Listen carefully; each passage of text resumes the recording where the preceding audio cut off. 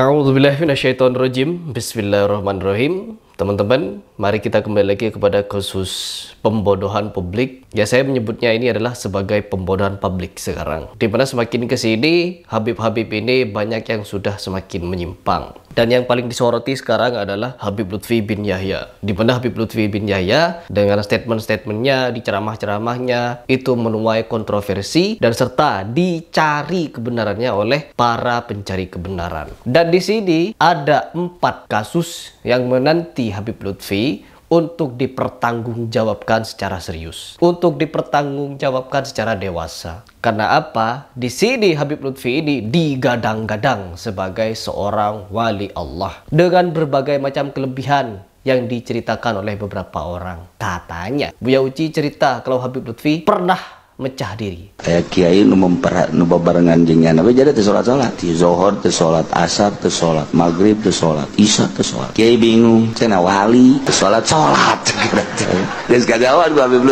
iya bener kita karena kisarwani Semarang namude kadinya bareng dia zohor ke salat asar ke salat maghrib ke salat pelantarannya nah haju di jerohat kena zuuzon eta ku Habib titah nyokot asbak cai tolong ambilin asbak saya tuh disodot tuh.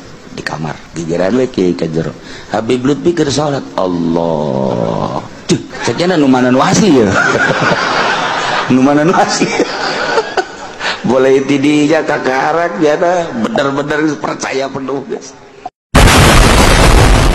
Keren ya. Habib Lutfi mecah diri. Yang satu ada di ruang tamu ngobrol dari zuhur sampai isya, gak sholat-sholat. Ternyata ketika diselidiki oleh si Kiai, Habib Lutfi mecah diri. Ada Habib Lutfi lain sedang sholat.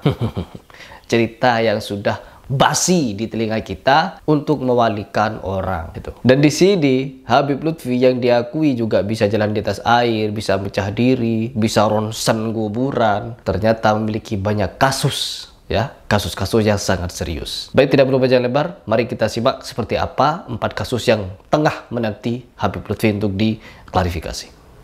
Ada empat kasus yang menunggu Bapak Lutfi bin Yahya yang dikenal sebagai World Sufi Presiden, sebagai Mursyid Toriko, sebagai Ketua Jatman. Empat kasus tersebut adalah satu Fakta Satu. dia telah mengubah sejarah berdirinya NU. Ini adalah sebuah perilaku yang suul adab kepada Mbah Hashim Asyari dan pendiri lainnya. Yang kedua Sepakat. adalah fakta dia telah mengubah atau mengizinkan pengubahan sejarah hmm. berdirinya Jatman. Ini dapat kita temui ya. dari cerita Romo Kiai Halwani bersama Gusmar KBN Nusantara. Ya. Tiga, fakta dia membegal dan memalsukan makam dan silsilah KRT Sumo di Ningrat yang fakta-faktanya telah disajikan oleh Gus Muhammad AR dan Raden Dibio Terah HB2 di channel Arah 9. Bahkan Peter Carey, sejarawan dari Oxford University yang telah mengguluti sejarah di Ponegoro selama 30 tahun mengatakan, siapa yang mau menantang mm -hmm. sembari menunjukkan bukti-bukti literatur yang ada. Ya. Empat, fakta bahwa Empat. dia tidak tanda kutip menerima fakta ilmiah yang disajikan ke Haji Imaduddin Usman yang menyatakan bahwa Habib imigran Yaman Bani Ubed bukanlah keturunan Rasul. Setidaknya dengan empat kasus fakta ya ketidakjujuran tadi, semestinya para ya. pengikutnya mulai menimbang ulang. Benarkah Sadar. dia wali secara hakikat atau dia cuma di branding sebagai wali? Kok dikit-dikit ya. wali? Dikit-dikit wali. mana Anda tahu secara pasti dia adalah seorang waliullah? Kalau memang wali, kok tidak jujur ya kelakuannya? Ya. Kok banyak makam dan tokoh Nusantara yang dibinyahyakan? Berdasarkan nah, penjelasan dari Abbas Bunta Cirebon, banyak makam-makam yang dibinyahyakan dan dibin asegafkan. Sebagaimana Allah. kita ketahui, wali itu dibagi menjadi dua kategori besar. Satu wali ya. Allah, wali setan. Wali Kalau setan. orang tidak jujur dan suul adab seperti itu, kira-kira hmm. masuk kategori wali yang mana? Kira-kira kalau wali, wali yang tidak jujur seperti itu termasuk kategori wali apa? Jadi kita di sini bisa mengambil kesimpulan teman-teman kalau sebenarnya orang-orang seperti ini sejatinya mereka ini adalah seorang pendusta. Pendusta karena apa? Yang berdusta mengenai empat hal tadi yang mengubah sejarah Nadatul Ulama, mengubah nasab-nasab kuburan, membuat kuburan-kuburan palsu untuk dikeramatkan. Na'udzubillah min.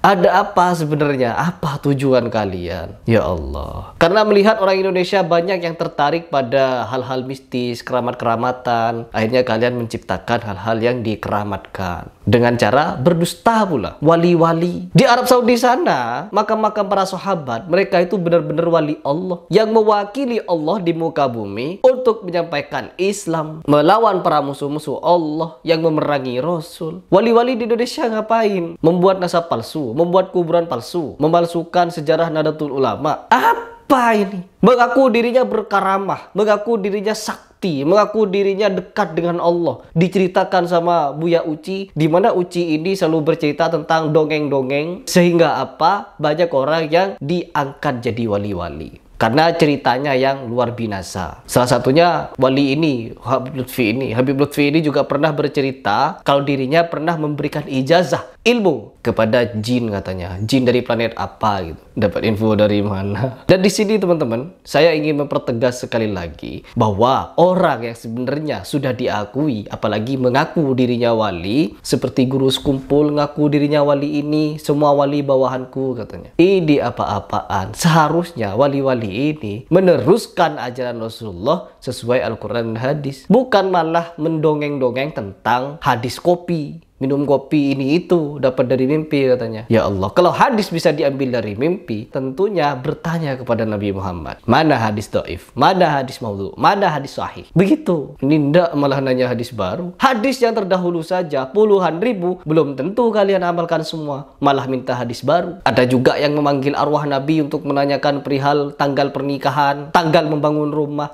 Ngaco. Kalau ada orang mau minta hajat, hajat? datang ke konsultan. Ketika terjadi pembunuhan kepada Sayyidina Utsman, di situ terjadi konflik besar antara Muawiyah dengan Ali bin Abi Thalib. Terjadi sampai perang Siffin, teman-teman. Ratusan ribu umat berperang bunuh-bunuhan. Terjadi perselisihan di situ. Kenapa? Ketika di masa perselisihan ini, Rasulullah tidak hadir secara yakodoh kepada Ali bin Abi Thalib. Orang yang dikatakan diakui oleh kita umat terbaik. Wanita ini yang diceritakan oleh si Habib ini bisa bertanya apa saja kepada Nabi Muhammad tentang perkawinan. Nabi Muhammad bisa jawab. Tentang membangun rumah, Nabi bisa menjawab. Kenapa ketika perang Siffin tidak ada yang menanyakan kepada Nabi Muhammad? Karena itu lebih darurat daripada hanya membangun rumah atau dalam pelaksanaan perkawinan. Pakai akal logika. Mana mungkin arwah Nabi jadi dukun? Ini adalah akal-akalan orang-orang sufi yang ingin membuat umat Islam gulu berlebihan, menjadi pelayan kalian. Kalau melayani habaib, surga tanpa hisap, dikasih tiket, tolol, bodoh. Baik teman-teman, tidak perlu panjang lebar. Kita tunggu bagaimana kelanjutan. Apakah Habib Lutfi bin Yahya berani untuk mengklarifikasi empat perkara tadi? Ataukah dia malah lari dari kenyataan dan bersembunyi? Kenapa sampai sekarang dia belum buka suara mengenai isu-isu yang beredar? Ya, mubahlah lah. Dan jangan lupa, bongkar kuburannya agar bisa kelihatan bener gak di situ kuburan atau tanah kosong yang dibangun kuburan untuk menjadi tempat keramat dan dibinyahyakan. Min Sadar kalian yang masih gulu pada Habib, buka akal sehat kalian.